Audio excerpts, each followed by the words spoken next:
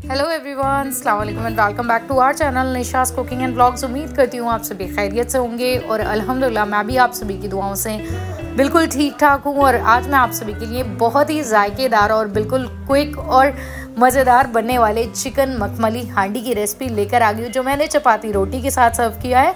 सबसे पहले मैंने गैस पे रखी है कढ़ाई और इस पर डाल लिया है लगभग वन फोर कप सरसों का तेल। और गर्म हो जाने के बाद इसमें मैं डाल देती हूँ। लगभग मैंने तीन बड़े साइज़ की रफली चॉप कर ली है प्याज को। सरा से वॉश करके इसे डाल लेना है और हमें प्याज को हल्का सा गोल्डन फ्राई कर लेना है। बहुत ज़्यादा ओवर फ्राई नहीं करना है। तो आप देख सकते हैं हमारी प्याज गोल्डन फ्राई हो चुकी है। इसी में मैंने डाल दिए लगभग चार से पाँच मीडियम साइज़ के रफली चॉप किए हो गए टमाटर। टमाटर को भी प्याज के साथ अच्छे से मिक्स कर देना है। उसके बाद मैं डालती हूँ, इसमें लगभग दो से तीन यहाँ पर मैंने मोटी वाली हरी मिर्च का इस्तेमाल किया है। उसे भी डालकर अच्छे से मिक्स कर देना है और इन सबको लगभग एक से दो मिनट तक हमें फ्राई करना है। और जैसे ही ये सब अच्छे से फ्राई हो जाए, देखिए ये अच्छे से फ्राई हो चुके हैं। चलिए मैं इसे निकाल के ठंडा कर लेती हूँ। इसी बीच मैंने कढ़ाई में फिर से दोबारा से डाल लिया है वन फोर कप ऑयल मैं सरसों का इस्तेमाल कर रही हूँ, आप चाहें तो रिफाइंड का भी इस्तेमाल कर सकते हैं। अब मैं इसमें डाल देती हूँ। लगभग यहाँ पर मैंने वन फोर टीस्पून लिया है लौंग और उसमें काली मिर्च ली है। आप चाहे तो और भी अदर जो गर्म मसाले हैं, आप उनका इस्तेमाल कर सकते हैं। डालने के साथ ही मैंने यहाँ पर लगभग इस्तेमाल किया है 700 ग्राम चिकन जिसे मैंने वॉश कर लिया था। अब चिकन को डालने के बाद ऑयल में एक बार हमें अच्छे से इसे मिक्स करना है। ऑयल के साथ ही आपको हम चिकन को लगभग दो से तीन मिनट तक फ्राई करना है। और इसी के साथ मैं डाल देती हूँ लगभग टू टीस्पून लहसुन अदरक का पेस्ट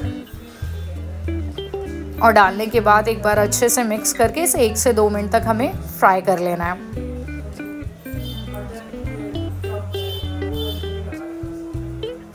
तो इस तरह से आप देख सकते हैं जो हमारा चिकन है, वो थोड़ा सा फ्राई होना शुरू हो गया है। मीडियम फ्लेम पर ही आपको करना है ये सारे काम।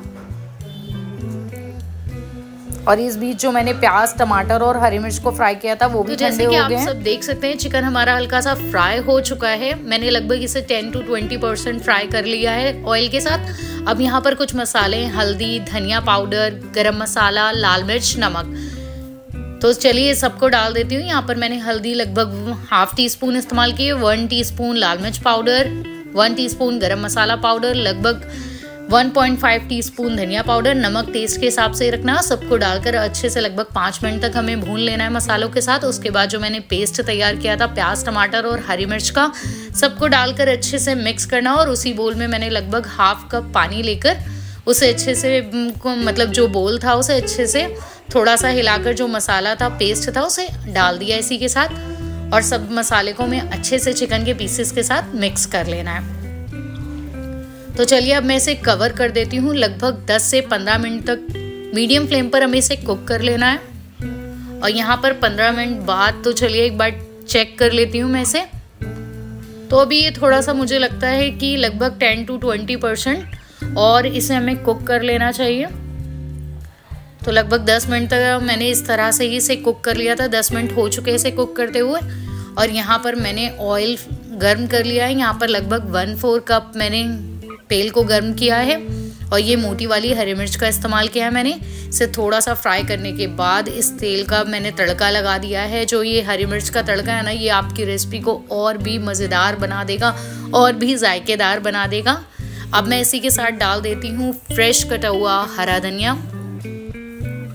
आप चाहें तो थोड़ी सी पुदीना पत्ती अगर आपके पास अवेलेबल है तो आप वो भी डाल सकते हो। उससे जो उसकी जो महक होती है ना, वो बहुत ही मज़ेदार लगती है। देखिए, आप देख सकते हैं, हमारी आज की चिकन मखमली हांडी बनकर बिल्कुल तैयार हो चुकी है, जो बहुत ही जायकेदार लग रही है। तो चलिए, अब बारी आती है इसे फटाफट से सर्व करने की और अपने साथियों को, अपने दोस्तों को बताने की कि आज की मज़ेदार चिकन मखमली हांडी कैसी बनी है।